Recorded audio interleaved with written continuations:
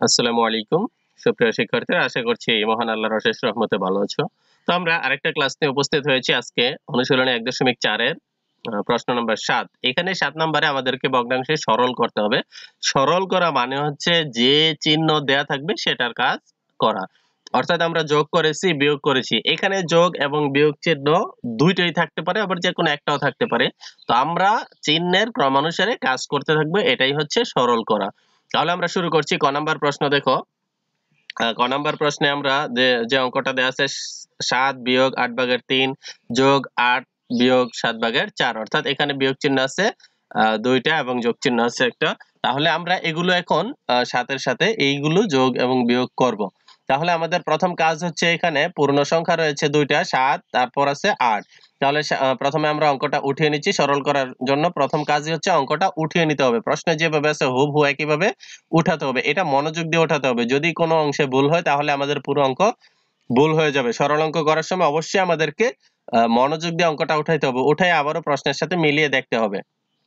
এটা হচ্ছে প্রথম সচেতনতা। তারপর আমরা আসছি যেগুলো পূর্ণ সংখ্যা সেগুলো একত্রে নিয়ে আসছি। এটা সহজ প্রক্রিয়া, পূর্ণ সংখ্যাগুলো একসাথে নিয়ে আসছি। সাত, তারপর আট। এই আটের আগে আমাদের আছে প্লাস চিহ্ন, সেজন্য আমরা আট প্লাস করে এখানে নিয়ে আসছি। সাত এবং আট একসাথে নিয়ে আসছি।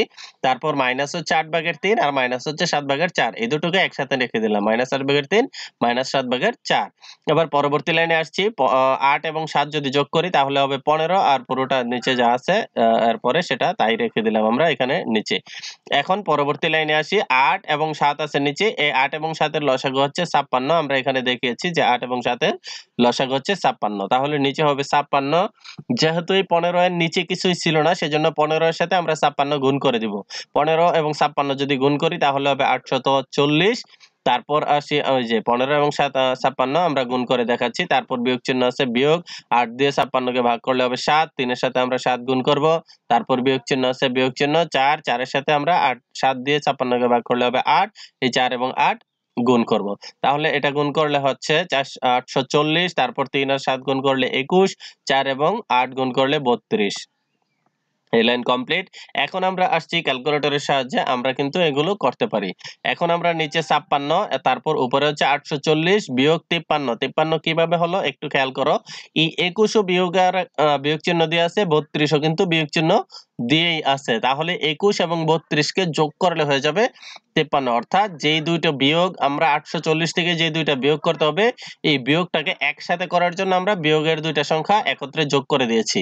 তাহলে একুশ এবং বত্রিশ যোগ করে আমরা তিপ্পান্ন লিখেছি। কেউ যদি এভাবে বুঝতে না পারো, তাহলে সে যেভাবে করবে, সে হচ্ছে আটশো চল্লিশ থেকে প্রথমে একুশ বিয়োগ করবে।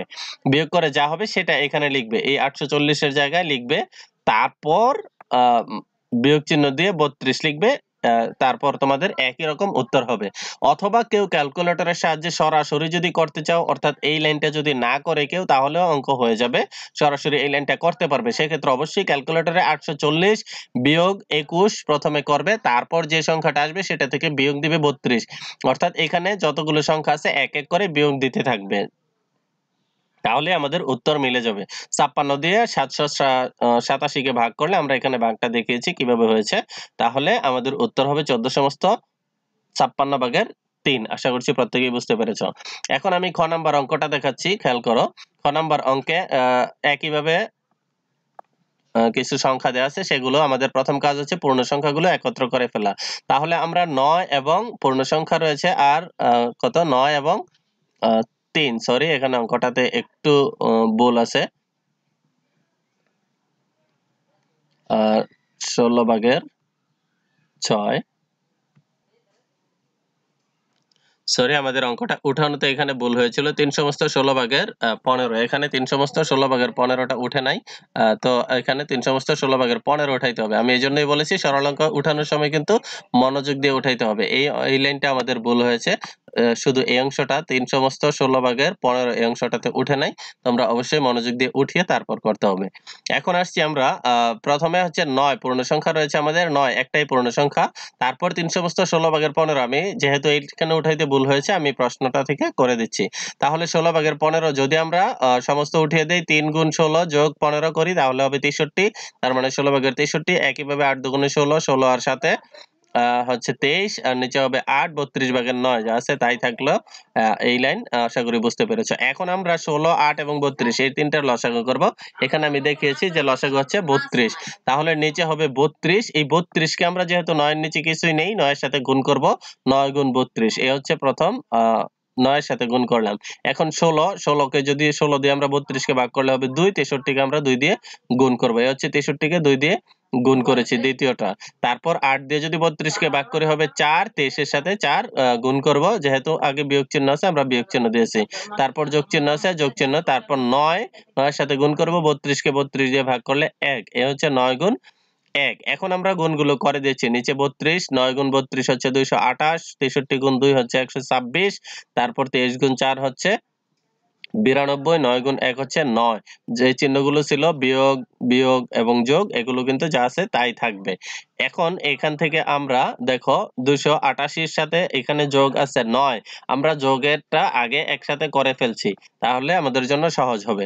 তাহলে দুইশো আটাশি যোগ নয়। দুইশো আটাশির সাথে নয় যদি যোগ করি তাহলে গেল দুইশো সাতানব্বই। তারপর একশো ছাব্বিশ আর বিরানব্বই। এই দুটো হচ্ছে বিয়োগের। এই দুটো বিয়োগকে আমরা একসাথে করে ফেলব। অর্থাৎ একশো ছাব্বিশ এবং বিরানব্বই, এই দুইটা বিয়োগকে আমরা যোগ করে ফেলছি। তার মানে একসাথে বিয়োগ করার জন্য এই কাজটা করে থাকি। কেউ আলাদা আলাদা করলেও কিন্তু করতে পারবে ক্যালকুলেটরের সাহায্যে উঠালে হয়ে যাবে। তো আমরা একসাথে করেই দেখাচ্ছি, একশো ছাব্বিশ আর বিরানব্বই যদি আমরা যোগ করি তাহলে হবে দুইশো আঠারো। তার মানে বিয়োগের দুইটাকে একত্র করলে হচ্ছে দুইশো আঠারো। এখানে বিয়োগ চিহ্ন বসাইতে হবে। এখন দুইশো সাতানব্বই থেকে দুইশো আঠারো বিয়োগ করলে আমাদের উত্তর আসবে উনআশি এই উনআশি আমরা বত্রিশ দিয়ে উনআশিকে ভাগ করব, এখানে ভাগটা করে দেখানো হচ্ছে, আশা করছি তোমরা বুঝতে পারবে। তাহলে আমাদের উত্তর হবে দুই সমস্ত বত্রিশ ভাগের পনেরো। এখন আমরা গ নাম্বার অঙ্কটা একটু দেখছি, দেখো, একই রকম কিছু অঙ্ক দেওয়া আছে যেখানে আমরা সমাধান করে দেখাবো। তাহলে আমরা শুরু করছি এখানে এখানেও অঙ্কটা একটু ভুল উঠেছে, দুই সমস্ত দুই ভাগের এক, দুই ভাগের একটা ওঠে নাই দুই সমস্ত দুই ভাগের এক। অর্থাৎ আমাদের যে অঙ্কটা দেওয়া আছে সেটা উঠিয়ে নিলাম। উঠানোর পর আমাদের যেটা কাজ হচ্ছে প্রথমে সমস্তগুলো উঠিয়ে ফেলা। তাহলে আমরা সমস্ত উঠাইলাম, এটাকে সমস্ত বাংলা হবে দুই দুগুণে চার, একে পাঁচ চার পাঁচা, বিশ বিশ আর তিনে তেইশ, এগারো আর এগারো, যোগ সতেরো আর পনেরো, গুণ করে সাত যোগ করলে হবে দুইশো বাষট্টি। এখন আমাদের এগুলো হয়ে গেল। এখন আমরা দুই, পাঁচ এবং পনেরো, এই তিনটার লসাগু করব। লসাগু হবে তিরিশ। তিরিশ হবার পর আমরা নিচে লিখলাম তিরিশ। তিরিশ আমরা দুই দিয়ে যদি ভাগ করি তাহলে পনেরো, অর্থাৎ পাঁচের সাথে গুণ করব পনেরো। দ্বিতীয়টাতে পাঁচ দিয়ে ভাগ করলে তিরিশকে হবে ছয়, তেইশের সাথে গুণ করব ছয়, তারপর এগারো, নিচে কিছুই নাই, আমরা সরাসরি পুরোটা গুণ করে দিব, অর্থাৎ এগারো গুণ তিরিশ হবে এখানে। তারপরেরটাতে পনেরো দিয়ে তিরিশকে ভাগ করলে দুই, দুইশো বাষট্টি এর সাথে গুণ করব দুই। আর চিহ্ন যা আছে তাই থাকবে, প্রথমে বিয়োগ চিহ্ন, বিয়োগ, তারপর হচ্ছে এগারো এর আগে বিয়োগ চিহ্ন, বিয়োগ, তারপর হচ্ছে যোগ চিহ্ন, যোগ। এখন আমরা এগুলো গুণগুলো করে দিব। গুণগুলো করে দিলে দেখো, প্রথমটা হচ্ছে পঁচাত্তর, একশো আটত্রিশ, তিনশো তিরিশ, তারপর পাঁচশো চব্বিশ। চিহ্ন যা ছিল তাই থাকবে, এই দুইটা বিয়োগ, তারপরেরটা যোগ। এখন আমরা করছি, এই পঁচাত্তরের সাথে আমরা আগেই বলেছি যোগ যোগগুলো কিন্তু আগে করি। পঁচাত্তর যোগ পাঁচশো চব্বিশ। এই যোগটা যদি আমরা করি, তাহলে হয়ে গেল পাঁচশো নিরানব্বই। তার মানে যোগ চিহ্নগুলো একসাথে যোগ করে দিলাম আমরা, হলো পাঁচশো নিরানব্বই। আর বিয়োগ আছে একশো আটত্রিশ এবং তিনশো তিরিশ, এই দুটোর আগে। তার মানে এই দুটোকে আমরা যোগ করলে হবে চারশো আটষট্টি। আমরা বিয়োগগুলোও একসাথে করে ফেললাম। এখন আমরা পাঁচশো নিরানব্বই থেকে চারশো আটষট্টি বিয়োগ করব। বিয়োগ করলে আমাদের কত হয় সেটা দেখব। দেখো, বিয়োগ করার পর আমাদের অ্যান্সার হবে একশো একত্রিশ। তার মানে তিরিশ ভাগের একশো একত্রিশ। এখন এই তিরিশ ভাগের একশো একত্রিশ, আমরা তিরিশ দিয়ে একশো একত্রিশকে ভাগ করব। ভাগটা এখানে দেখানো হয়েছে, দেখো। ভাগ করলে হবে চার সমস্ত তিরিশ ভাগের এগারো। আশা করছি প্রত্যেকে এই ভাগটা বুঝতে পারবে। তো আজকের ক্লাসে এই পর্যন্তই থাকল। এগুলো তোমরা সিডাব্লিউ কপিতে করবে এবং এইচডাব্লিউ কপিতে এখান থেকে প্রথম দুইটা অঙ্ক গড়বে অর্থাৎ ক এবং খ, এই দুইটা অঙ্ক এইচডাব্লিউ থাকবে। ধন্যবাদ সবাইকে, সবাই ভালো থাকবে, আল্লাহ হাফেজ।